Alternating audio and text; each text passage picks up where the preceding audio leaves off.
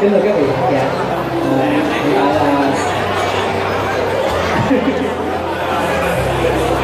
sau khi được tham gia đám cưới của khoa với Lâm ấy, thì trong nhóm trong nhóm nhạc của NT này có một bạn bạn thấy là có muốn à, được cưới.